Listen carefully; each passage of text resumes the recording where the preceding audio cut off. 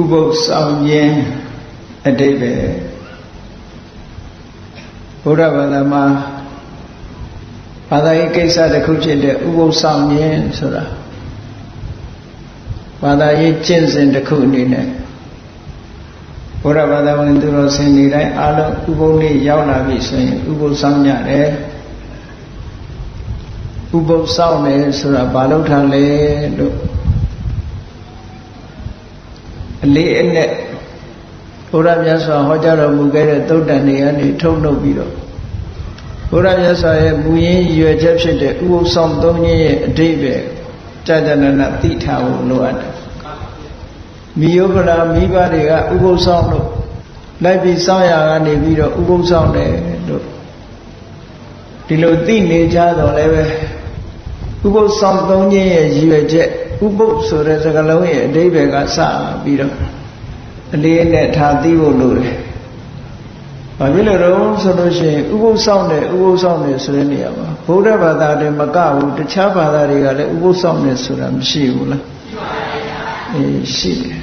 ။အဲ့တော့သူတို့ဥပုပ်နဲ့ကိုယ်ဥပုပ်နဲ့တချို့ကတော့မသိရင်တူတူပဲလို့ထင်နေတတ်တယ်။အနှစ်သာရပိုင်းမှာဥပုပ်ဆောင်ခြင်းရဲ့အနှစ်သာရပိုင်းကိုကြည့်ရမယ် တခါတရံကျတော့အတန်တူတော့လဲအဆံမတူဘူးဆိုတာအနှစ်သာရပိုင်းဟာကွာခြားမှုတွေအများကြီးရှိတတ်တယ်တခြားဘာသာဝင်တွေမှာလည်းဥပုသ်ဆောင်နေသူတို့မှလည်းသူတို့ရည်ရွယ်ချက်တွေနဲ့ဥပုသ်ဆောင်သုံးတယ်ဆိုတာရှိတယ်ပေါ့ဘုရားဘာသာဝင်သူတော်စင်တွေကိုတော့ဥပုသ်ဆောင်သုံးဖို့ဆိုပြီးတော့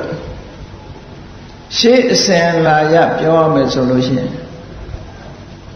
လာစမ်းရှိရဲ့လာစုပ်ရှိရဲ့လာပြီလာွယ်လို့တလမှာလေးတဲ့ဆိုပြီးတော့ဥပုဆောင်နေရှိကြတယ်အဲ့ဒီတလလေးတဲ့ဥပုဆောင်ရောမြမကဘူး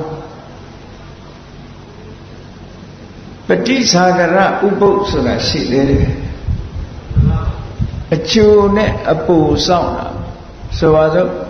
ဥပုပ်နေ့မရောက်ခင်တရက်ကကြိုပြီးတော့စောင့်တယ်ဥပုပ်ထွက်တရက်ကိုစောင့်တယ်ဆိုတော့အကျိုးအပေါ်နဲ့တကွာဆိုတော့လာဇန်9ရက်လာဇန်10ရက်လာဇန်9ရက်3ရက်လာပြီနေ့မှာဆိုလို့ရှိရင်လာပြီအဖိတ်နေ့လာပြီနေ့လာပြီကျော်1ရက်3ရက်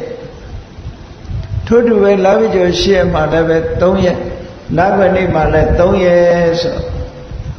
တလားတလားမှာ12ရက်လောက်စောင့်တယ်ဥပုပ်နော်အဲ့ဒါလို့အကျိုးပုံနဲ့တကွာစောင့်တာပฏิစာကရဥပုပ်လို့ခေါ်တယ်ပေါ့ရှင်းသူတော်စင်တွေကအဲ့ဒါလို့ဥပုပ်ကိုစောင့်နေရှိကြတယ်မြန်မာနိုင်ငံမှာလည်းပဲရှေးပိုင်းခေတ်ကာလတွေမှာဆိုလို့ရှိရင်ဝါတွင်းကာလ၃လလုံးလုံးဥပုပ်ဆောင်တယ်ဆိုတာမျိုးတွေလုံးကြတယ် ရှင်းသူတော်စင်တွေ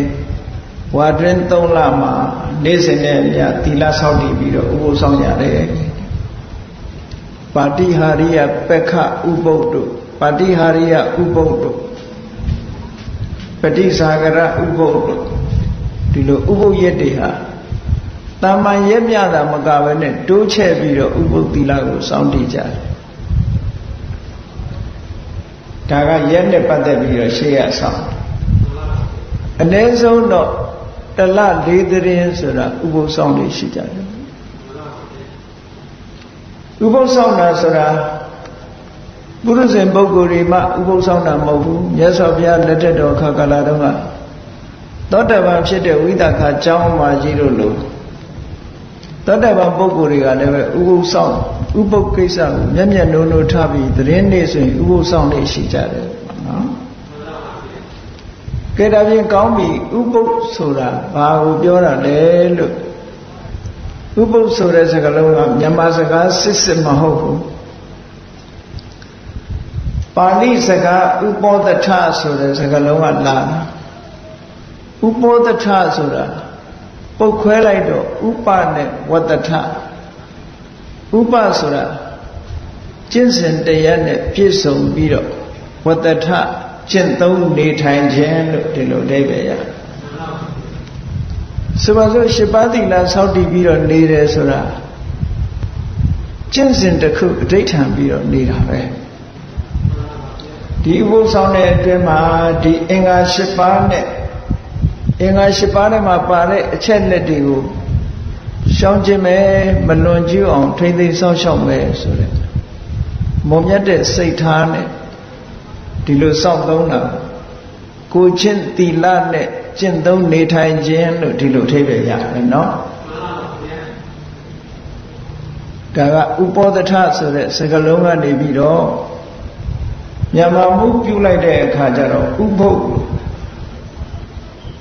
ဥပုပ်ဆိုတဲ့စကားလုံးကိုမှောင်ရေးရမယ်ဆိုလို့အခရာဥပါဆောင်တစ်ချောင်းကင်နဲ့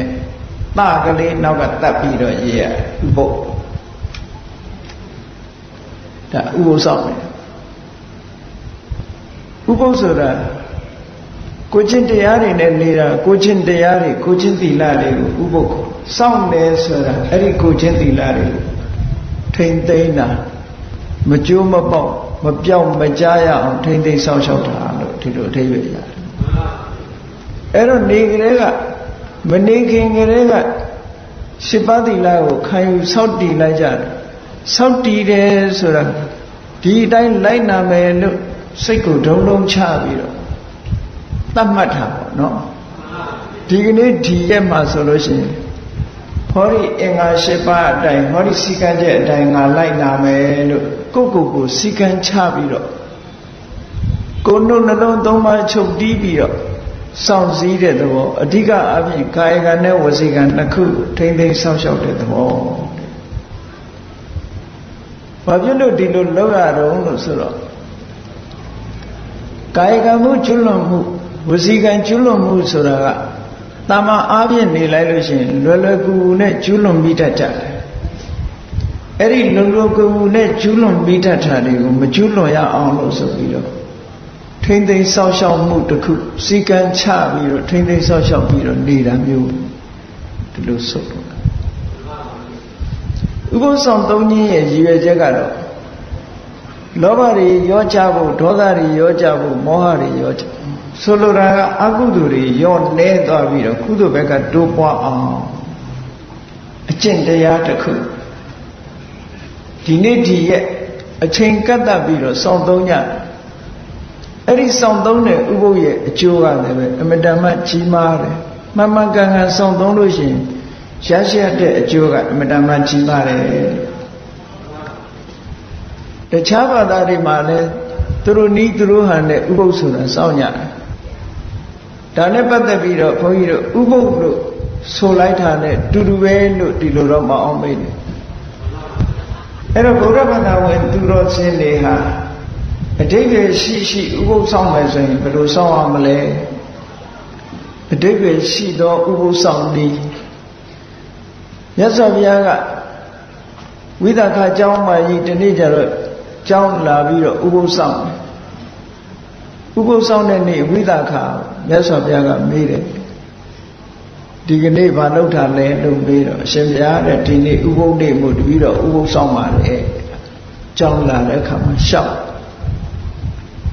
ဥပုပ်နေ့မို့ဥပုပ်ဆောင်ပါတယ်လို့ဆိုတော့မြတ်စွာဘုရားကဥပုပ်၃မျိုးရှိတဲ့အကြောင်းရှင်းပြတယ်အဲ့ဒီနေရာမှာအတင်တရံချင်းကွဲပြားခြားနာသွားပြီဆိုတာကိုတတိထားဖို့နော်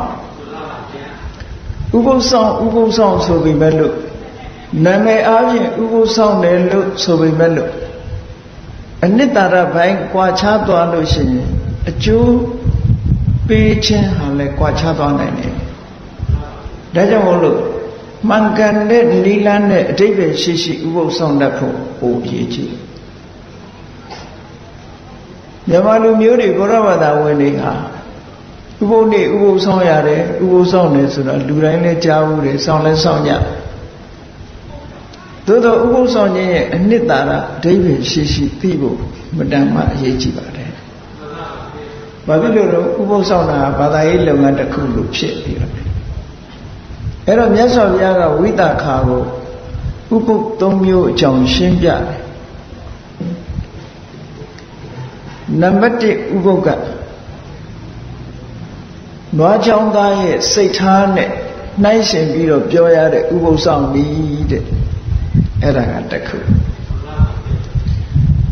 အဲ့ဒါကိုပါဠိလိုဂောပါလကုပောဒထဂောပါလကဥပောဒထဂောပါလကဆိုတာနွားကြောင်သားဥပောဒထဆိုတာဥပုပ်နွားကြောင်သားဥပုပ်ဆိုတာနွားကြောင်သားတွေစောင့်တဲ့ဥပုပ်ကိုပြောတာမဟုတ်ဘူးနွားချောင်းသားရဲ့စိတ်နဲ့စိတ်ထားနဲ့နှိုင်းရှင်ပြီးတော့ပြောရတဲ့ဥပုပ်မျိုးလို့ဒီလိုဆိုလို့လေ အဲ့တော့ဥပုပ်တယ်တွေဟာဥပုပ်ဆောင်ပြီဆိုလို့ရှိရင်မှန်ကန်တဲ့စိတ်ထားရှိဖို့ကျင့်သုံးတဲ့အခါမှာဤစနစ်ကြားနာဖို့အမတန်မှအရေးကြီးတယ်ဆိုတော့ထင်ရှားတယ်ဥပုပ်ဆောင်တယ်လို့ဆိုပြီးတော့မှန်ကန်တဲ့ရည်ရွယ်ချက်တွေမပြည့်ဘူးအတိတ်ပဲမရှိဘူးဆိုလို့ရှိရင်ထိုဥပုပ်ဆောင်ခြင်းရဲ့အကျိုးဟာများစွာရမှာမဟုတ်ဘူး ဒါကြောင့်မို့ဝိသခာကိုမြတ်စွာဘုရားရှင်းပြတဲ့နံပါတ်1ဥပုပ်ကနွားချောင်းသားရဲ့စိတ်ထားနဲ့နှိုင်းရှင်ပြီးတော့စောင့်နှိုင်းရှင်ရမယ့်ဥပုပ်မျိုးတဲ့ဥပုပ်ဆောင်ခြင်းမျိုးကတစ်ခုနောက်တစ်ခုကနိဂန္ထုပောဒထလို့ခေါ်တယ်နိဂန္ထဆိုတာဘုရားလက်ထက်တော်ခါကာလတုန်းကဘာသာရေးတစ်ခုပေါ့ဒီကနေ့အိန္ဒိယခေတ်မှာဂျိန်းဘာသာဝင်လို့ခေါ်တယ် ချိန်ဘာသာလို့ခေါ်တယ်ဘုရားမြတ်စွာလက်ထက်တော်ကတော့ချိန်လို့မခေါ်ဘူးနိခန္ဓလို့ခေါ်တယ်အဲ့ဒီနိခန္ဓယဟန်တွေကလမ်းညွှန်မှုပြုပြီးတော့စောင့်တဲ့နိခန္ဓတွေရဲ့တရားဓမ္မတွေစောင့်တဲ့ဥပုပ်မျိုးတဲ့အဲ့ဒီဥပုပ်ကိုမြတ်စွာဘုရားထည့်ပြီးတော့ဟောတာလို့ရှိဒါနဲ့တတိထားစရာဒီကနေ့ခေတ်မှာလည်းပဲအခြားဘာသာတွေမှာလည်းဥပုပ်ဥပုပ်တွေရှိကြတယ် နောက်တစ်ခုကအရိယုပောဒထမြင့်မြတ်တဲ့ပုဂ္ဂိုလ်တွေစောင့်သုံးတဲ့ဥပုပ်တဲ့ဟောဒီဥပုပ်ကဒါအဓိပ္ပာယ်ရှိတဲ့ဥပုပ်ဖြစ်ရမယ်အဲ့တော့ဘာသာရေးလုပ်ငန်းတစ်ခုဟာစနစ်တကျနီလမှန်မှန်ကန်ကန်လုပ်တတ်မှအကျိုးရှိတယ်ဘယ်ရာပဲဖြစ်ဖြစ်ဒါကမှန်ကန်တဲ့နီလနဲ့ကြိုးစားအထောက်မှအ ရာရာမှာအောင်မြင်တယ်အကျိုးရှိတယ်ဆိုတာလားသို့မဟုတ်လို့ရှိရင်ရည်မှန်းချက်အတိုင်းဖြစ်ချင်မှဖြစ်အေကောင်းပြီနွားကျုံသားစိတ်ထားနဲ့နှိုင်းရှင်ပြီးတော့ပြောရတဲ့ဥပုသ်ဆောင်နည်းဆိုတာဘယ်လိုဟာတော့ဘုရားဘာသာဝင်ပဲဖြစ်ဖြစ်ဘာဘာသာဝင်ပဲဖြစ်ဖြစ်အထူးအဖြင့်ဘုရားဘာသာဝင်တွေ တရင်နေ့အခါကာလမှာရှစ်ပါးသီလစောင့်တည်ပြီးတော့ကျောင်းကံဖျားသွားပြီးတော့ဥပုသ်ဆောင်ကြတယ်အဲ့ဒီလိုဥပုသ်ဆောင်တဲ့အခါမှာမဆောင်ငင်ငယ်တွေကဘာတွေလုပ်တာတချို့ဥပုသ်တွေရဲ့စိတ်ထားကိုပြောပြလာမဆောင်ငင်ကဘာလုပ်တော့ဆို ဥပုသ်ဆောင်တယ်ဆိုရင်နေ့12နာရီရနေပြီးတော့နောက်တရက်မနေ့အာယုမတက်ခင်မစားရဘူးဆိုတဲ့အတိကလေးဝင်မနေဘူးလားဝိကာလဘောဇနာမစားရဘူးဆိုတာလေးသိနေတော့ဘာကြောက်တုံဆိုရင်ထမင်းဆာမှာကြောက်တယ်အဲ့တော့ထမင်းဆာမှာကြောက်တဲ့အခါကျတော့ဥပုသ်ဆောင်သွားမယ်ဆိုလို့ရှိရင်ဖွဲဖွဲရာရာတွေချက်ပြုတ်ကောင်းတို့ရာရာတွေချက်ပြုတ်ပြီးတော့ထမင်းမဆာအောင်ဆိုပြီးတော့ ပို့ပြီးတော့စားဖို့ကျွတင်ပြီးတော့ပြင်ဆင်တယ်မလုပ်ဘူးလားအဲ့ဒါမျိုးပြင်ဆင်တယ်အဲ့ဒီလိုကျွတင်ပြင်ဆင်ပြီးကောင်းတို့ရရာတွေစားနောက်တရက်အတွက်တွေးသေးတယ်ဒီနေ့တော့ကြက်သားဟင်းနဲ့စားတယ်နောက်ရက်ကျတော့ဝက်သားဟင်းနဲ့စားမယ်ဟိုနောက်တရက်ကျတော့ဘာဟင်းချက်မယ်လဲဆိုပြီးတော့အစားအသောက်ကိုစိတ်ကူးပြီးတော့စောင့်တဲ့ဥပုပ်မျိုးတွေလည်းရှိတာပဲတာ အေးမြတ်စွာဘုရားကဒီကနေ့ဘာဟင်းနဲ့စားတယ်လက်ပြင်ကဘာဟင်းစားမယ်တပတ်ခါဘာဟင်းစားမယ်အစားအသောက်တွေကိုစီမံပြီးစိတ်ကူးပြီးတော့စောင့်တဲ့ဥပုပ်မျိုးတွေတဲ့အဲ့ဒီဥပုပ်မျိုးတွေကအကျိုးသိပ်ပြီးတော့မရှိဘူးတဲ့နွားကြောင်းသားတွေစိတ်သဘောထားနဲ့သွားတူနေတယ်အစားအသောက်ပေါ်မျောလင့်ပြီးတော့စားစရာတောက်စရာတွေမျောတွေးပြီးတော့စောင့်နေတဲ့ဥပုပ်ဟာ ဘာဥပုတ်တော့ဘာဘာကိုမျောတွေးတာတော့ဆိုလို့ရှိရင်စားစရာတောက်စရာမျောတွေးခြင်းသည်အဘိဓါအဘိဓါဆိုတာစားစရာအာယုံပေါ်မှာရှေးရှုတွေးနေတဲ့လောဘစိတ်တွေဖြစ်နေတယ်ဒါပြောနော်ဒီနေ့ဒီဟင်းစားပြီးတော့ဥပုသ်ဆောင်တယ်နောက်ရကြတော့ဟိုဟင်းစားမယ်ဟိုအစားအစာစားမယ်နဲ့အစားအစာတွေပေါ်မှာစိတ်အများကြီးရောက်ပြီးတော့စောင့်နေဥပုသ်တဲ့ ဥပမာမဲ့နွားချောင်းသားတွေဟာနွားကိုကြောင်းပြီးတော့တနေ့ကုန်တဲ့အခါနွားတွေပေါင်းပြီးတော့ခြံတဲ့ထက်နွားပိုင်ရှင်ကိုပြန်အပ်ပြန်အပ်ပြီးတော့သူတို့ဘာတွေစိတ်ကူးတော့ဆိုရင်အေးဒီကနေ့ဒီနွားအုပ်ကို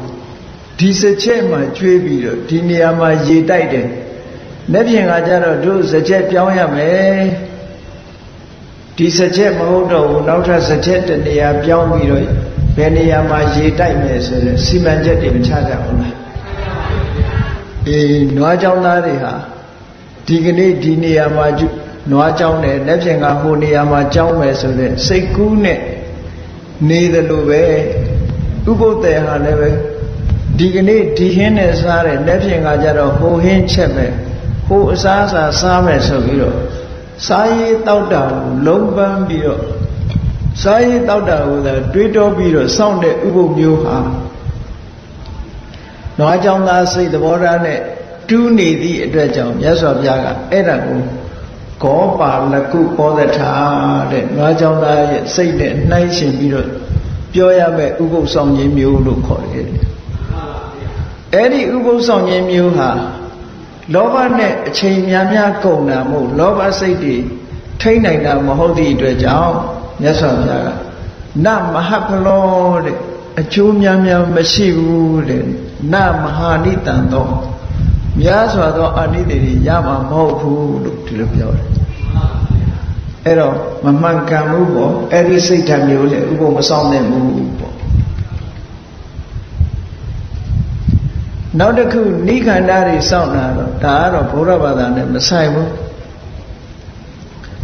နိခန္ဓာဆိုတဲ့ပုဂ္ဂိုလ်တွေကဥပုပ်နေမှာဆိုရင်သူတို့တရားဓမ္မတွေကိုပြောတယ်တဲ့ဘာပြောတော့ဆိုစောက်တီခိုင်းတယ်သူတို့ယူခိုင်းတဲ့သီလကဘာတော့ဆိုလို့ရှင်အေးအရှိအယမျက်နာမှာယူဇနာတရားရဲ့ဟိုဘက်ကတ attva တွေမတတ်ဘူးလို့အဋိဋ္ဌံလိုက်တော င်ဘက်ကလည်းပဲယူဇနာတရားရဲ့ဟိုဘက်ကတ attva တွေမတတ်ဘူးအနောက်ဘက်ကလည်းယူဇနာတရားရဲ့ဟိုဘက်ကတ attva တွေမတတ်ဘူးမြောက်ဘက်ကလည်းပဲခုယူဇနာတရားရဲ့ဟိုဘက်ကတ attva တွေမတတ်ဘူးယူဇနာတရားဆိုတာတယူဇနာတွေမဲ့၈မိုင်၁၂မိုင်ရှိနေယူဇနာတရားဆိုအလွန်ဝေးတယ်မဟုတ်လားအဲ့တော့ဒီအတွင်းကတ attva တွေကိုတော့တတ်မယ်ဆိုတဲ့အထိပ္ပယ်ရနေတယ်ဟုတ်ကဲ့ သူဥပုပ်ကစောင်းပုံဆောင်နည်းကနေမြေနဲ့ကန့်တက်ပြီးတော့စောင့်တာသူကယူဇနာတရားအပြင်ဘက်ကတက်ရှိတ attva တွေကိုမဆောင်ဘူးပါဏာတိပါဒထိမ့်သိမ်းဆောက်ရှောက်မယ်ပေါ့အရှိဘက်ကယူဇနာတရားဟိုဘက်တောင်ဘက်ကယူဇနာတရားဟိုဘက်အနောက်ဘက်ကယူဇနာတရားဟိုဘက်မြောက်ဘက်ကယူဇနာတရားရဲ့ဟိုဘက်မှာရှိတဲ့တ attva တွေကိုမတတ်ပါဘူးလို့ဟောပါဏာတိပါဒဝေရမဏိ သူတို့ဘောမှာတပ်ဖြတ်ညှင်းဆဲမှုမလုပ်ပါဘူးရှောင်ကျင်မမယ်လို့ဆိုတဲ့ဥပုပ်အဲ့ဒီဥပုပ်ကတော့တော်တော်လူပါဝတဲ့ဥပုပ်ပဲเนาะဘာလို့လို့ဆိုလို့ရှိရင်တတ္တဝါတတ်ခြင်းဟိုဝေးကြီးထီအောင်ဘယ်သူကသွားတတ်နေမလို့အဲ့တော့အတွင်းသားကလက်လန်းမိတာတွေတော့တတ်လို့ရတယ်ဆိုတဲ့အဓိပ္ပာယ်ကရနေတယ်ပြီးတော့ဥပုံနေမှာဘာဆိုခိုင်းသေးတုံးလို့ဆိုတဲ့အခါကျတော့ ငါဟာဘယ်သူနဲ့မှမပတ်သက်ဘူးဘယ်သူဟာမှမဟုတ်ဘူးတခြားလူဟာလည်းငါနဲ့မဆိုင်ဘူးငါရဲ့ငါရဲ့ဟာငါရဲ့ဆွေမျိုးမဟုတ်ဘူးလို့နှုတ်ကနေဆိုပြီးတော့စောင့်တည်ရတယ်တဲ့ဥပုသ်စောင့်တည်ရတယ်နော်နာဟံကွသနိကတ္တစီကိစ္စနတတ္တနိပါဠိလိုကြတာနသမမကွသနိကိစ္စနတတ္ထိ အတိပ္ပယ်ကတော့ငါဟာဘသူရဲ့မှချောင်းကြဆိုင်ရမဲ့လူမျိုးမဟုတ်ဘူးတခြားလူတယောက်ဟာလည်းငါရဲ့ကြောင်းကြဆိုင်ရမဲ့လူမျိုးမဟုတ်ဘူးငါအမျိုးလည်းမဟုတ်ဘူးဘာမှမတော်ဘူးဆိုတဲ့ဒီအဋိဋ္ဌံချက်ကိုဆိုရတယ်တဲ့အဲ့ဒီဥပုသ်ဆောင်တဲ့နေ့မှာဒါနိကန္ဓာတွေဆောင်တဲ့နေ့အဲ့တော့သူတို့စောင့်တဲ့ဟာနှစ်ချက်ရှိတယ် ယူဇနာတရားရဲ့ဟိုဘက်ကတ attva တွေကိုမတတ်ဘူးလို့ဆိုတော့တချို့တ attva တွေကိုတော့တတ်ခွင့်ရှိတယ်ဆိုတော့တနာရမဲ့တ attva ကရှိတယ်မတနာရမဲ့တ attva ရှိတယ်ဟောတတ်လို့ရတဲ့တ attva ရှိတယ်တတ်လို့မရဘူးဆိုတဲ့တ attva ရှိတယ်ဆိုတချို့တ attva တွေပေါ်မှာမေတ္တာကရုဏာထားပြီးတချို့တ attva တွေပေါ်မှာမေတ္တာကရုဏာမထားရမရောက်ပေဘူးလားရောက်သည့်အတွက်ကြောင့်သူတို့ဟာ တတ္တဝါအချို့ပေါ်မှာမေတ္တာကရုဏာထားတယ်တတ္တဝါအချို့ပေါ်မှာမေတ္တာကရုဏာမထားဘူးလို့ဆိုကြတဲ့ကမမြမတတဲ့မေတ္တာစိတ်နဲ့စောင့်တဲ့ကုသိုလ်ဖြစ်နေပြန်တယ်မမြမတတဲ့စိတ်ဓာတ်နဲ့စောင့်နေဖြစ်နေလို့ရသော်ဘုရားကအကျိုးမရှိဘူးတဲ့အဲ့ဒီလိုစောင့်နေလို့နောက်တစ်ခုကငါကဘသူမှငါဟာဘသူရဲ့ဆွေမျိုးမှမဟုတ်ဘူး ငါဟာဘယ်သူမှကြောင်းကြဆက်ရမယ်ပုံကိုမဟုတ်ဘူးလို့ဆိုခိုင်းတယ်တခြားလူတယောက်ဟာလည်းငါနဲ့ဘာမှမသက်ဆိုင်ဘူးငါရဲ့ဆွေမျိုးမဟုတ်ဘူးပစ္စည်းဥစ္စာတွေလည်းငါဟာမဟုတ်ဘူးလို့ကြီးညာခိုင်းအဲ့ဒီလိုကြီးညာပြီးနောက်တည့်ရက်ကျသူမိသားစုတွေအားလုံးကလည်းပဲငါဒီဘယ်သူနဲ့မှမပတ်သက်ဘူးလို့ပါဇက်ကသာဆိုတာသူ့အမေကအမေပဲအဖေကအဖေပဲ သားသမီးကသားသမီးပဲမဖြစ်ဘူးလားမိဘတွေကလည်းပဲဒါငါတို့သားပဲဒီလိုပဲမသိဘူးလားအဲ့ဒါကိုအတင်းလိန်ခိုင်းရရောက်တယ်တဲ့မြတ်စွာဘုရားဘုဒ္ဓဝါဒကရှောင်ရမယ့်အစာဘုဒ္ဓဝါဒဆိုခိုင်းတာနဲ့တူးနေတယ်ငါဟာဘယ်သူနဲ့မှမပတ်သက်ဘူးဘယ်သူရဲ့ဆွေမျိုးမှမဟုတ်ဘူးဆိုတာက လိန်နာခြင်းတစ်မျိုးဖြစ်နေတယ်တဲ့မူတဝါဒကိုဆိုခိုင်းရရောက်တယ်နောက်တည့်ရဲ့ဥပုပ်ကထွက်တဲ့အခါကျတော့အိမ်မှာသူရှိတဲ့ပစ္စည်းတွေခုနတုန်းကတော့ကြေညာထားတယ်ငါငါနဲ့ဆိုင်တဲ့ပစ္စည်းမရှိဘူးလို့ငါဟာမဟုတ်ဘူးလို့ကြေညာထားပြီမဲ့လို့မပြောမပြုတ်နဲ့အဲ့ဒီကြေညာထားတဲ့ပစ္စည်းတွေကို तू ကယူသုံးတယ်ဒါသူပစ္စည်းကိုအယက်မှာတော့ဟုတ်ကဲ့ အဲ့ဒါလို့ယူသုံးတယ်ဆိုလို့ရှိရင်ဘာဖြစ်တုံအဋိဏဒါနမဖြစ်ဘူးလားသူကျင်ညာထားတာငါမငါဟာမဟုတ်ဘူးလို့သူကကျင်ညာထားတာအဲ့တော့ကျင်ညာထားတဲ့ပစ္စည်းကိုသူကနောက်တည့်ရက်မှာဘယ်သူမှမပြောဘဲနဲ့ယူပြီးတော့သုံးလို့ရှိရင်အဋိဏဒါနဖြစ်တယ်တဲ့ဟောလိန်နာမှုဘုဒ္ဓဝါဒလည်းဖြစ်တယ်မပေးတဲ့ပစ္စည်းကိုသုံးတာဖြစ်သောကြောင့်အရိဏဒါနာလည်းဖြစ်တယ် ဒါတွေကရှောင်ကျင်ရမယ့်အစားဒီအတိုင်းကျွလွန်မိရတာဖြစ်နေသည့်အတွက်ကြောင့်နိခန္ဓာတွေစောင့်တဲ့ဥပု္ပ္ပဟာရည်စရာလည်းကောင်းတယ်အကျိုးလည်းမရှိဘူးလို့မြတ်စွာဘုရားကဒီလိုဟောတယ်နော်အဲ့တော့လောကမှာဘာသာတရားတွေကဒီလိုပဲဥပုပ်ကိုအမျိုးမျိုးစောင့်ကြတယ်အမျိုးမျိုးစောင့်ကြတယ် ဥပုပ်နေ့တတ်မှတ်ပုံချင်းကလည်းတဦးနဲ့တဦးမတူဘူးဥပုပ်စောင့်တာချင်းလည်းမတူဘူးဘုရားမြတ်စွာရဲ့အရိယဥပောဒထလို့ခေါ်တဲ့သူတော်စင်တွေစောင့်သုံးတဲ့ဥပုပ်ကတော့အဲ့ဒါမျိုးမဟုတ်ဘူးတဲ့ဘယ်လိုဟာတော့ဆိုရင်ညစ်နွမ်းနေတဲ့စိတ်ကိုဖြူစင်အောင်ကြိုးစားမှုပဲ ဥပုသ်ဆောင်ရင်ညင်နွမ်းနေတဲ့စိတ်တွေကိုဖြူစင်အောင်ကြိုးစားပေးဖို့လိုအပ်တယ်ဖြူစင်အောင်ကြိုးစားရမယ်ဥပုသ်ဆောင်နေအဲ့တော့အရိဥပောဒထဆိုတဲ့နေရာမှာစိတ်ကိုဖြူစင်အောင်လုပ်ရစိတ်ကိုဖြူစင်အောင်လုပ်ရရှစ်ပါးသီလစောင့်တည်လိုက်တယ်ပါဏာတိပါဒဝေရမဏိသိက္ခာပရသမารိယရှစ်ပါးသီလစောင့်တည် အဲ့ဒီမှာဥပုသ္တေကဘယ်လိုနှလုံးသွင်းရမလဲလို့ဆိုလို့ရှိရင်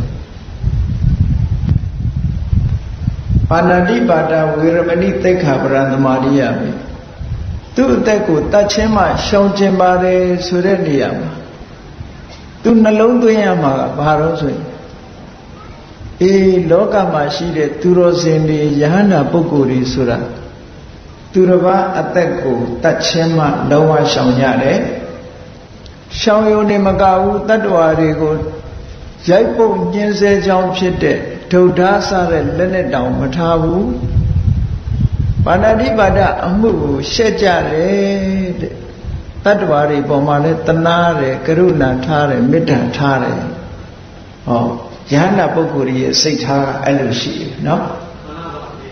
ဥပုသ္တေတယောက်ကလည်းပါဏာတိပါဏဝေရမဏိသိက္ခာပရဏမာရိယမိလို့စောင့်တည်လိုက်လို့ရှိရင်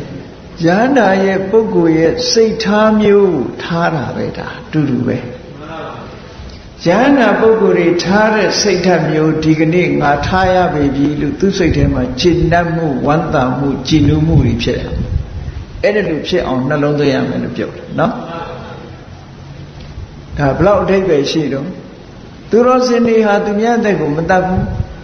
ဒီကနေ့ငါသူတော်စင်တွေလှုပ်တဲ့အတိုင်းငါလိုက်ပြီးတော့ကျင့်သုံးမယ် သူများတဲ့ကိုမတတ်ဘူးဟောဒီလိုတစ်ခုစီတစ်ခုစီအဋိဏဒါနာဝေရမဏိတိခါပရံသမာရိယာမိသူတော်ဘာမပေးတဲ့ပစ္စည်းကိုပိုင်ရှင်မပေးတဲ့ပစ္စည်းကို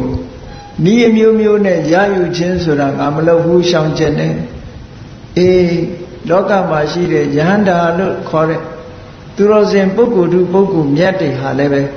သူမြတ်ပစ္စည်းကိုဘယ်တော့မှယူလေးမရှိကြဘူးတဲ့အဲ့ဒီပုဂ္ဂိုလ်ရဲ့အကျင့်တရားကိုဒီကနေ့ငါလိုက်နာပြီးတော့ကျင့်သုံးရတယ်လို့ဟောစိတ်ထဲမှာအာတက်တရောဖြစ်လာကြည်နူးလာတယ်ဝမ်းသာလာသူတော်ကောင်းရဲ့အကျင့်ကိုအတူယူပြီးတော့ကျင့်သုံးရတယ်ဆိုတော့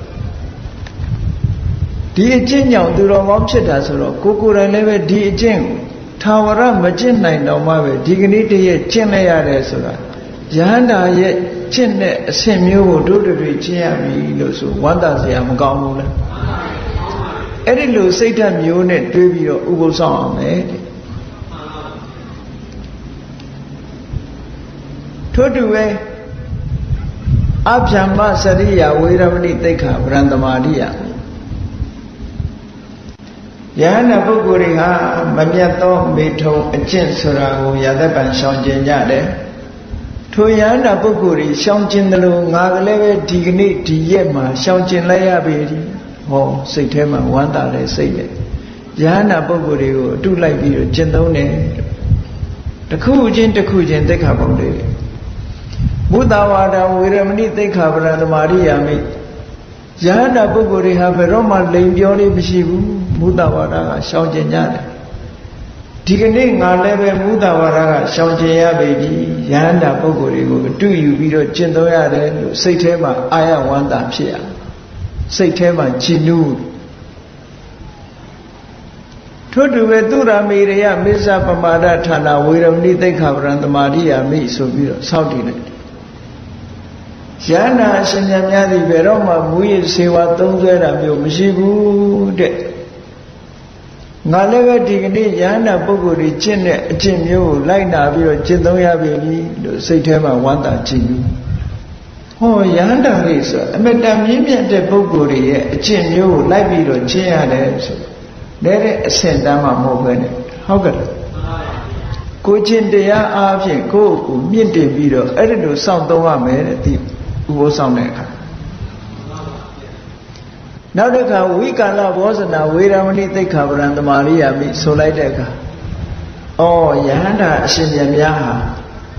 နတ်နဲ့တစ်ချိန်သာဖုံးမေးသုံးဆောင်တော်မူကြတယ်မွန်းလွဲတဲ့အချိန်မှလည်းမဖုံးမေးဘူးညနေစာလည်းမချင်ဖုံးမေးဘူးညစာလည်းမဖုံးမေးဘူးနတ်နဲ့ပိုင်းတစ်ချိန်သာဖုံးမေးတော်မူကြတယ်ငါလည်းပဲဒီကနေ့ယန္တာပုဂ္ဂိုလ်ရဲ့အကျင့်ကိုလိုက်ပြီးတော့ကျင့်သုံးရတယ်စိတ်ထဲမှာဝမ်းသာ အဲ့တော့ဘုရားဘာသာကညနေမစားဘူးလို့ဆိုတာတက်တက်အငတ်ခန္ဓာမဟုတ်ဘူးနော်တက်တက်အငတ်ခန္ဓာမဟုတ်ဘူးတကယ်သူတော်စင်ပုဂ္ဂိုလ်တွေဟာညစာကိုရှောင်ကြတယ်ဘာဖြစ်လို့ညစာကိုရှောင်တယ်လဲလို့ဆိုလို့ရှိရင်အတိတ်ဘယ်ကညစာစားခြင်းအပြင်လူတွေမှာအစာဝလာတဲ့အခါမှာအိတ်ချင်ထိုင်ပိုင်မှုတွေပို့ပြီးတော့မများဘူးလား များတယ်တန်ဖိုးရှိတဲ့ညအခါမှာဖိုင်လေးလေးနဲ့အိတ်ဖို့ပဲကြိုးစားတော့မှာပေါ့အေးသူတော်စင်သူတော်မြတ်များကညအခါဟာတိတ်တန်ဖိုးရှိတယ်လို့ယူဆကြတယ်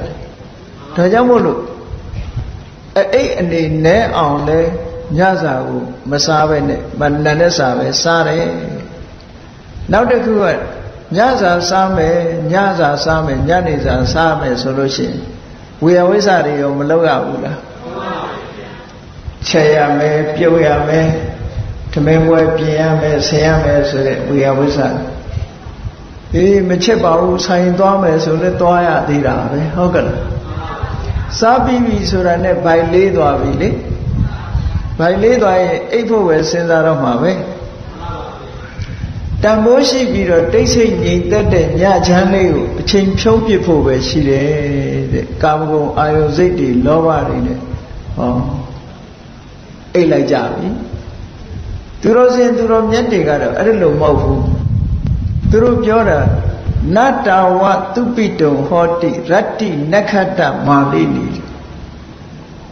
ညအခါမှာဆိုတာကောင်းကင်ကိုမော့ကြည့်လိုက်လို့ရှိရင်အမတန်မှကြည်လူးစရာကောင်းတယ်ကောင်းကင်မှာလာတို့လက်ခတ်တို့ကျေတရားတွေရှိမနေဘူးလားနေအခါမှာကြည့်မယ်ဆိုလို့ရှိရင်နေကြီးကလွဲလို့တခြားမမြင်ရဘူးညမှာကျတော့အလွန်လှပတဲ့နက်ခတ်ဒီဟိုနားကဝင်းဝင်းလက်လက်ဒီနားကဝင်းဝင်းလက်လက်နဲ့ အလွန်လှတဲ့ညအခါကိုလူတွေကအိပ်ပြီးတော့ဖြတ်ကျော်ပလိုက်ကြတယ်မေ့ထားလိုက်ကြတယ်ညရဲ့အလှကိုလူတွေမသိကြဘူးတဲ့နော်အများစုကလူတွေမသိကြဘူးဒါကြောင့်မို့လို့သူတော်စင်သူတော်မြတ်တွေကနတ္တဝသူပိတုံဟောတိရတ္တိနက္ခတ္တမာလိနိညဆိုတာတဲ့နက္ခပန်းနေတဲ့အဆန်းတကျအလွန်လှတဲ့ညအခါဆိုတာအိပ်ဖို့မဟုတ်ဘူးတဲ့ ပฏิစခိတုမေဝေတာညဆိုတာကကိုယ့်ရဲ့ကိုယ့်ကိုယ်ကိုထိမ့်သိမ်းဆောင်းလျှောက်ပြီးတော့အကုသိုလ်တရားတွေကင်းအောင်ကိလေသာတရားတွေကလွတ်မြောက်အောင်ကြိုးစားဖို့ကောင်းတဲ့အချိန်ဖြစ်ပါလေ။ဘာဖြစ်လို့လဲဆိုတော့ညဆိုတော့ရာသီဥတုကလည်းအေးချမ်းတယ်နေ့လိုမပူအေးမြတယ် ဒီခါမှတော့လူသန်နေငှက်တန်နေဆူညံနေတာမရှိဘူးညအခါဆိုတော့တိတ်ဆိတ်တယ်ဟုတ်ကလားတိတ်ဆိတ်ငြိမ်သက်ပြီးတော့အေးချမ်းပြီးတန်ဖိုးရှိတဲ့အချိန်ကြီးတစ်ခုအိပ်ပြီးတော့ဖြတ်ကျော်ပြစ်လိုက်တာအစာစားထားလို့ဒါကြောင့်မို့လို့ညကိုမစားရဘူးဆိုတော့ဝိကာရဘောဇနာဆိုတန်ဖိုးရှိတဲ့ညရဲ့တန်ဖိုးရှိအောင်နေနိုင်အောင်လို့ရည်ရွယ်တဲ့ကိစ္စတစ်ခုပဲเนาะ အေးဒါကြောင့်မလို့ဩယဟန္တာပုဂ္ဂိုလ်တွေဟာညအခါမှာသုံးဆောင်ခြင်းမရှိကြဘူးမွန်လွဲတဲ့အချိန်မှာသုံးဆောင်ခြင်းမရှိကြဘူးငါလည်းပဲဒီကနေ့ယဟန္တာပုဂ္ဂိုလ်ရဲ့အကျင့်တိုင်းလိုက်နာကျင့်သုံးရပြီလို့စိတ်ထဲမှာဝမ်းသာချီလူပြီးစောင့်ဟောနိစ္စဂိတဆိုတာလည်းပဲကြည့်လိုက်အောင်နိစ္စဆိုတာကိုကိုယ်တိုင်ကတယ်သူများကိုကပြတယ် သူများကတာကိုကြည့်တယ်ဒါတွေကစဉ်းစားကြည့်လိုက်မယ်ဆိုလို့ရှိရင်တက်တက်ပျော်ဖို့ပဲမဟုတ်လားကိုကကပြတာလည်းပဲကိုကတာကိုသူများတွေသဘောကျစေခြင်းနဲ့သူများကတာကိုကြည့်ပြီးတော့လည်းကိုကသဘောကျခြင်းနဲ့ဟောဘာတွေဖြစ်တာတော့လောဘတွေပဲဖြစ်တာနော်ဂီတဆိုလို့ရှိရင်လည်းကိုကတာတာရရနဲ့အတန်လေးနဲ့တခြင်းဆိုပြတယ်သို့မဟုတ်သူများဆိုထားတဲ့တခြင်းကိုနားထောင်တယ် ဒါလည်းပဲအာယုံရတာကိုခံစားတဲ့လောဘတွေပဲဖြစ်တာပဲเนาะဝါဒိတကိုယ်တိုင်တီးတယ်ဒုရိယာတွေကိုကိုယ်တိုင်တီးတယ်သို့မဟုတ်သူများတီးတာကိုနားထောင်နိစ္စဂီတာဝါရိတဝိတုကသဒနာတရားဓမ္မရဲ့ဆန့်ကျင်ဘက်သာသနာတော်ရဲ့ဆန့်ကျင်ဘက်သာသနာတော်ရဲ့ဆန့်ကျင်ဘက်ဆိုတာဘာလို့ဆိုရင် မြတ်စွာဘုရားကအကုသိုလ်ဆိုတာမဖြစ်စေနဲ့ကုသိုလ်ကိုဖြစ်အောင်လုပ်ဆိုတော့အကုသိုလ်မဖြစ်စေနဲ့ဆိုတဲ့မြတ်စွာဘုရားရဲ့အဆုံးအမနဲ့မဆန့်ကျင်ဘူးလားအဲ့ဒါကြောင့်မလို့ဝိသုကတသနာလို့ပြောတာနော်တချို့ကပွဲကြိုက်တဲ့လူကပြောသေးတယ်ကြည်တတ်ရင်ဘာဝနာမကြည်တတ်ကတဏှာဆိုပြီးတော့နေသူတို့ကသူတို့ဘာဝနာဖြစ်အောင်ကြည်တယ်လို့ဒီလိုချမ်းခံပြီးတော့ပြောတဲ့လူကရှိသေးတယ်နော် သို့သောကြည်တယ်ဆိုရင်ဘယ်လိုစိတ်ဖြစ်တယ်ဆိုတာကိုယ့်အကိုအသိဆုံးပဲအဲ့ဒါတွေကိုမကြည့်ဘူးတဲ့လူရဲ့စိတ်ကိုတွေးဝေမိန်မောစေတတ်တဲ့အရာတွေကိုကြည့်ရှုခြင်းနားထောင်ခြင်းဒါတွေကနေရှောင်ကျင်လိုက်တယ်ဆိုဩယဟန္တာပုဂ္ဂိုလ်တွေရှောင်ကျင်တဲ့အတိုင်းငါလည်းပဲဒီကနေ့တန်ဖိုးရှိတဲ့အချိန်ကိုတန်ဖိုးရှိရှိကောင်းတဲ့အရာတွေနဲ့အချိန်ကုန်ဖို့ကြိုးစားရတယ်လို့စိတ်ထဲမှာဟောတယ်လို့တွေးတော်ဆင်ခြင်ရမယ် နောက်တစ်ခုကမာလာခန္ဓဝိလိပနဓာရဏမန္တနဝိဘုဒနာထတာကြည်ပန်းပန်းတယ်ဆိုတာကိုကိုကိုအလှဆင်တာသို့မဟုတ်သူများမြင်လို့ရှင်လေကိုကိုတတ်မဲ့အောင်လုပ်တာကိုကိုကိုလည်းတတ်မဲ့စေတယ်သူတစ်ပါးကိုလည်းကိုကိုကိုလည်းတတ်မဲ့အောင်လုပ်တယ်သူတစ်ပါးကိုလည်းတတ်မဲ့စေတယ်နန္တာရီလိမ့်ချလိုက်သည့်အတွက်ကြောင့် ကိုကိုကိုကလည်းအနံ့ပေါ်မှာကြိုက်တယ်သူများကအနံ့ရရင်လည်းပဲလောဘဖြစ်စေတယ်မိတ်ကတ်တို့ပေါင်တာတို့လိမ့်တဲ့အခါမှာလည်းကိုကိုကိုตายာပြီးတော့လောဘဖြစ်စေတယ်သူတစ်ပါးကမြင်လည်းလောဘဖြစ်စေတယ်ဆိုတော့ကြည့်ဒါတွေလည်းအကုသိုလ်ဖြစ်စေတဲ့အရာတွေကြီးပဲမဟုတ်လားတာမန်နေ့စဉ်မှာမရှောင်နိုင်ပေမဲ့လို့ဥပုသ်ဆောင်တဲ့နေ့မှာဓာတွေကိုဖယ်ရှားပြစ်လိုက်တယ်ဆိုတဲ့အတိပ္ပယ်နဲ့ မာလာခန္ဓဝိလိပနဓာရဏမန္တနာဝိပုဒနာဌာနဝေရမဏိဆိုပြီးတော့ဩယဟန္တာပုဂ္ဂိုလ်တွေဟာရသက်ပံမိမိကိုယ်လှအောင်ပအောင်တသဆင်နာမလုပ်ဘူးသူတစ်ပါးတွေတတ်မဲ့အောင်မလုပ်ဘူးပုံမှန်တိုင်းကိုယ့်ကိုယ်ကိုတန်တန်ပြတ်ပြတ်ကလေးနေတာပဲရှိတယ်တမင်လှုပ်တာမျိုးမလုပ်ဘူးလူဆိုတာတန်တန်ပြတ်ပြတ်တော့နေရတာပေါ့ရေမိုးချိုးပြီးတော့တန်တန်ပြတ်ပြတ်နေရမယ် တန်တန်ပြတ်ပြတ်နေတာတဲ့ပိုသွားပြီဆိုလို့ရှိရင်တတ်မဲ့အောင်လှုပ်တာပဲဟုတ်ကဲ့တန်တန်ပြတ်ပြတ်နေယုံအနန္တပြောင်းယုံလှုပ်တာဒါကတော့လှုပ်တဲ့ကိစ္စတစ်ခုပဲဘာဖြစ်လို့တော့ဆိုလို့ရှိရင်လူရဲ့ခန္ဓာကိုယ်ကမတင့်တယ်ယွန်စပွဲဖြစ်တဲ့အရာဖြစ်တယ်အဲ့ဒီမတင့်မတဲ့ယွန်စပွဲဖြစ်တဲ့အရာကိုပျောက်ယုံမြရေမိုးချိုးတယ်ဒီလိုလုပ်တယ် တန်တန်ပြတ်ပြတ်နေတယ်ဒါကရိုးရလုပ်တာအဲ့ဒီတန်ပြတ်မှုတွေပို့ပြီးတော့လှအောင်ပြင်တာတို့ကြတော့ဟောလောဘပါလာပြီပေါ့လောဘပါလာပြီသဝိရာဂလို့ခေါ်တဲ့အရေးပေါ်မှာတတ်မဲ့တဲ့စိတ်တွေ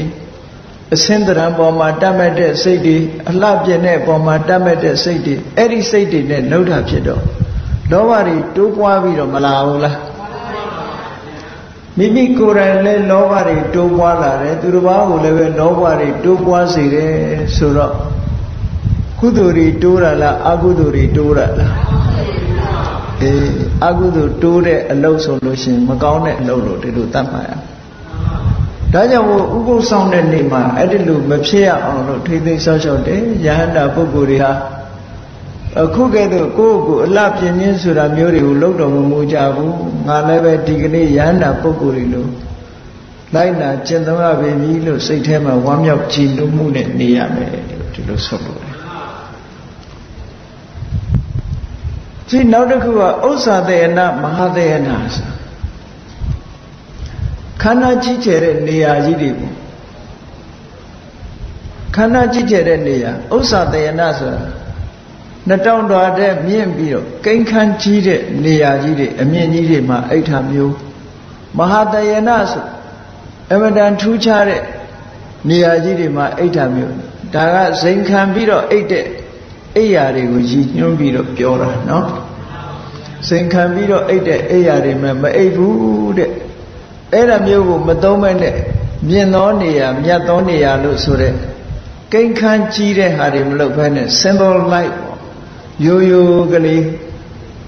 ရိုးရိုးကလေးအိတ်ဖို့အိတ်ဆက်တဲ့နေရာလေးလို့အဲ့တော့ရိုးရိုးလေးအိတ်တယ်ဆိုတာတက်တောင့်တက်တာအိတ်ဖို့မပြင်းသင့်ဘူးလို့ဒီလိုပြောတာမဟုတ်ဘူး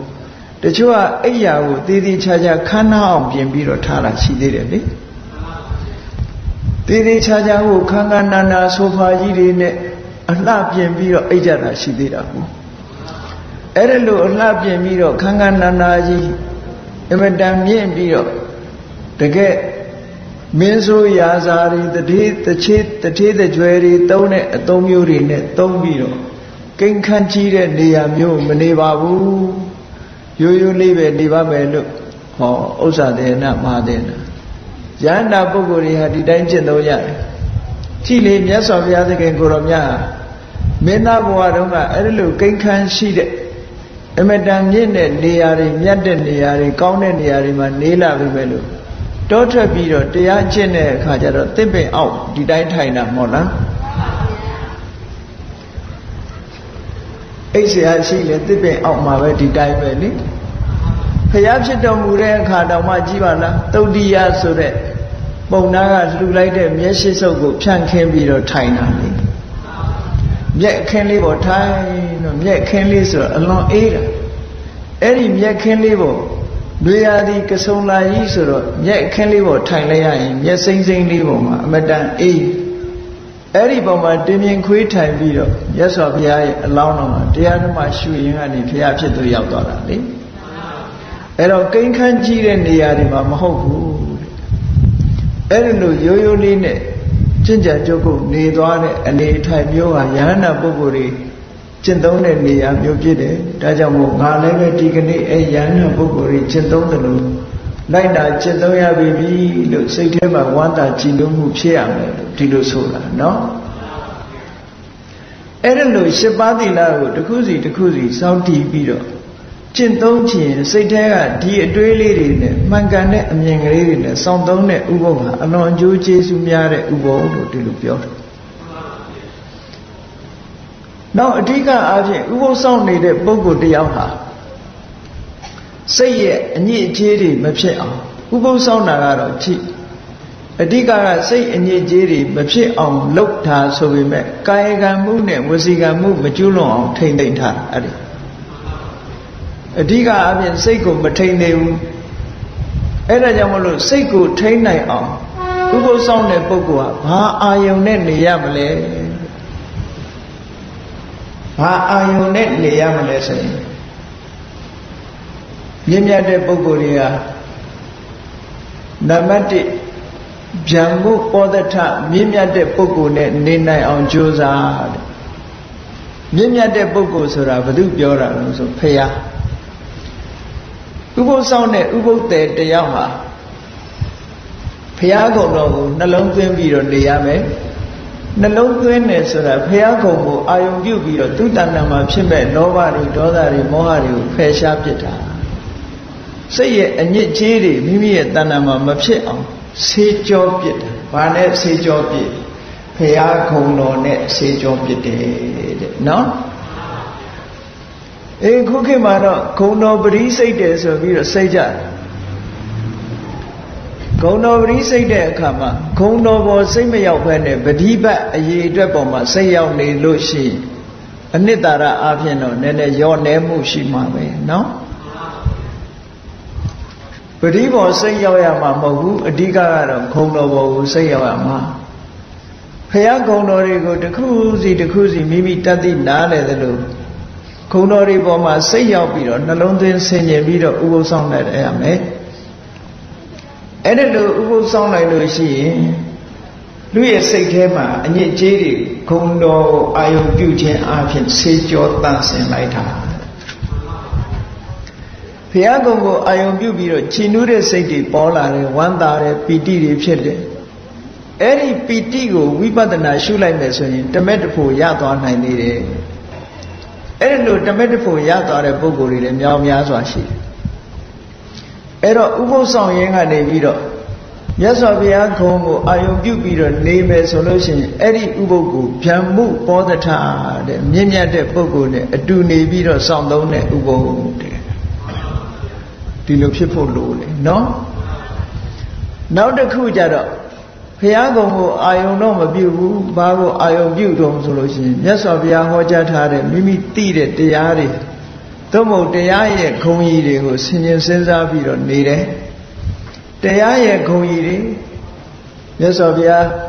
ဟောတဲ့တရားဟာတကယ်မှန်ကန်တဲ့တရားပဲအမှန်တိုင်းဟောတာဖြစ်တယ်သက်ခတာမမှန်ကန်ကန်ဟောတဲ့တရားဖြစ်လို့ဘုရားဟောတဲ့တရားဟာကြားနာလိုက်ရုံပဲအပူစင်တယ်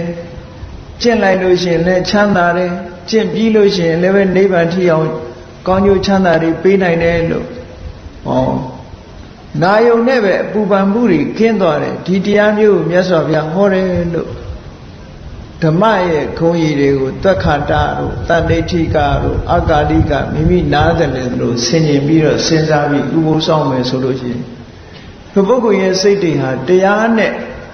အတူရှိနေသည့်အတွက်ကြောင့်တရားကုံကိုအာယုပြုရင်တရားကုံနဲ့ မကောင်းတဲ့စိတ်တွေကိုဆေးကြောပြစ်ရမရောက်ပေဘူးလားအဲ့ဒါလို့ဆေးကြောပြစ်လိုက်လို့စိတ်ဓာတ်ကလေးဖြူစင်ကြည်နူးပြီးတော့ဝမ်းသာကြည်နူးတဲ့စိတ်တွေဖြစ်လာတယ်တဲ့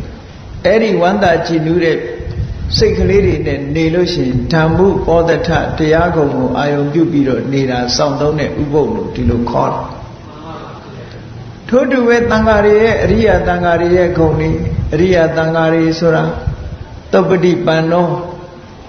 မင်္ဂန်တဲ့အကျင့်တွေကျင့်တယ်ဥဇပတိပန်နောဖြောင့်မတ်စွာကျင့်တယ်ညာယပတိပန်နောနိဗ္ဗာန်လမ်းကြောင်းပေါ်ရောက်တဲ့အကျင့်မျိုးကျင့်တယ်တာပိစေပတိပန်နောမင်္ဂန်တဲ့အကျင့်တွေကျင့်တယ်လို့ဟောဒီလိုကျင့်ကြံကြုတ်ကိုအထောက်မှုအပိုင်းကဆင်ញင်စဉ်းစားတာအာဟုနေရောပါဟုနေရောအဲ့ဒီအကျင့်တွေကိုအောင်မြင်မြင်ကျင့်ထားသည့်ပုဂ္ဂိုလ်ဖြစ်သည့်အတွက်ကြောင့်အာဟုနေရအဝေးကယူလာတဲ့ပစ္စည်းတွေနဲ့ ပူဇော်တိုက်တဲ့ပုဂ္ဂိုလ်တွေပါဟုနေရအိမ်မှာဧည့်သည်တွေဘာတွေလာရင်ကျွေးဖို့ဆိုပြီးတော့အစင်းနဲ့ထားတဲ့ပစ္စည်းဥစ္စာတွေနဲ့ကျွေးမွေးတဲ့ပုဂ္ဂိုလ်တွေလို့ဒီလိုတန်ခါဂုံတွေကိုတစ်ခုစီတစ်ခုစီအာယုံပြုတ်ပြီးတော့စောင်းရှောက်မယ်ဆိုလို့ရှိရင်တန်ခုပောဒထလို့ခေါ်တယ်တန်ခါဂုံကိုအာယုံပြုတ်ပြီးတော့ကြည်နူးဝမ်းသာတဲ့စိတ်တွေနဲ့နေတယ်ထို့တူပဲ ကိုယ့်ရဲ့ကိုချင်းတီလကိုချင်းတီလာတွေကိုဆင်ញင်တွေးတောပြီးစောင့်သုံးမယ်ဆိုရင်တီလာနှုတ်တတိကိုယ့်ရဲ့တီလာကုံကိုအာယုံပြုတ်ပြီးတော့စောင့်သုံးတာလည်းပဲထို့တူပဲသီလကိုအာရုံပြုပြီးတော့ကိုယ့်ရဲ့စိတ်အငြိကြေးတွေကိုဆေးကြောဖြစ်တယ်နောက်တစ်ခုကဒေဝတာနုဒတိဒေဝတာနုဒတိဆိုတာနတ်တွေကိုတတိရတာကိုပြောတာမဟုတ်ဘူး ဒေဝတာနုဒတိကနတ်တွေကိုနှိုင်းရှင်စရာပြုတ်ပြီးတော့ဆင်ញင်တာဘယ်လိုဆင်ញင်တော့ဆိုရင်အေးကောင်းရတုဂတိရောက်သွားကြတဲ့နတ်တွေဟာအခုငါမှာတရားတရားရှိတယ်အဲ့ဒီတရားတရားမျိုးရှိသည့်အတွက်ကြောင့်သူတို့နတ်ပြည်ရောက်ကြတာငါမှလည်းပဲဒီတရားတရားတွေအခုဖြစ်နေပါလားလို့ဒီလိုတွေးတာဟုတ်ကဲ့လားသီလရှိလို့နတ်ဘဝရောက်သွားကြတာငါမှလည်းအဲ့ဒီသီလတွေအခုရှိတယ် တတ္တာသီလအကြမ်းမြင်ဘုဒ္ဓတာတွေရှိလို့နတ်ပြည်ရောက်သွားကြတယ်ငါမှလည်းပဲအဲ့ဒီအကြမ်းမြင်တွေရှိတယ်စွန့်ကြဲမှုတွေရှိသည့်အတွက်ကြောင့်နတ်ပြည်ကိုရောက်သွားကြတယ်ငါမှလည်းပဲစွန့်ကြဲမှုဆိုတဲ့ဂုဏ်တွေရှိတယ်အသိပညာရှိသည့်အတွက်ကြောင့်နတ်ပြည်ကိုရောက်သွားကြတယ်ငါမှလည်းပဲအဲ့ဒီအသိပညာတွေရှိတယ်လို့ နတ်တွေရဲ့ဂုံအည်တွေကိုစဉ်းစားပြီးတော့ကိုယ်မှရှိတဲ့ဂုံတွေနဲ့နှိုင်းရှင်ပြီးတော့ကြည်နူးဝမ်းသာတဲ့စိတ်ကလေးဖြစ်တယ်ဟုတ်ကလားအဲ့ဒါလို့ကြည်နူးဝမ်းသာတဲ့စိတ်ကလေးနဲ့ကိုယ့်ရဲ့စိတ်ထဲမှာရှိတဲ့အညစ်အကြေးတွေကိုဆေးကြောပြစ်တယ်တဲ့အဲ့ဒါဟာဒေဝတုပောဒထလို့ခေါ်တယ်အဲ့ဒါလို့ဥပုပ်ကိုစောင့်သုံးရမယ်လို့မြတ်စွာဘုရားကဟောကြားတယ်အဲ့ဒါလို့ဟောကြားပြီးတော့ ဒီလိုစောင့်သုံးလိုက်တဲ့ဥပုပ်ရဲ့အကျိုးကျေးဇူးဟာဘလောက်များသလဲလို့ဆိုလို့ရှိရင်အမတန်မှအကျိုးကျေးဇူးများတယ်တဲ့ဘုရားကနားလည်အောင်ဘယ်လိုဟောတော့ဆိုကမ္ဘာလောကကြီးအတွင်းမှာရှိတဲ့ယရနာတွေနော်အဖိုးတန်ယရနာတွေကိုစုလိုက်အဲ့ဒီအဖိုးတန်ယရနာတွေရဲ့တန်ဖိုးနဲ့ တစ်ချိန်တစ်ခါစောင့်လိုက်ရတဲ့အခုလိုမွန်မြတ်တဲ့စီးစနစ်ကြတဲ့ဥပုပ်အတိတ်ပဲရှိရှိစောင့်လိုက်တဲ့ဥပုပ်ရဲ့တန်ဖိုးနဲ့နှိုင်းယှဉ်ကြည့်လိုက်မယ်ဆိုလို့ရှိရင်တဲ့ယရနာတွေရဲ့တန်ဖိုးဟာဥပုပ်တစ်ခါစောင့်ရတဲ့ကုသိုလ်တန်ဖိုးရဲ့16ပုံပုံတပုံတော်မရှိဘူးလို့ပြောတာနော်ဘာဖြစ်လို့ဒီလိုပြောရတော့လို့ဆိုလို့ရှိရင်ဥပုပ်တစ်ချိန်တစ်ခါစောင့်လိုက်လို့ရှိရင် လူစည်းစိမ်မပြောနဲ့နတ်စည်းစိမ်နတ်ချမ်းသာတွေကိုပေးနိုင်တယ်။ဟောနတ်ချမ်းသာတွေဆိုတာအဲ့ဒီယရနာတွေရဲ့တန်ဖိုးတွေကြီးတယ်ဟုတ်ကလား။ဥပုပ်ကလေးတစ်ခါစောင့်လိုက်တာနဲ့ဒီပုဂ္ဂိုလ်ဟာလူချမ်းသာတဲ့တာလွန်နဲ့နတ်ချမ်းသာလူချမ်းသာဆိုတာ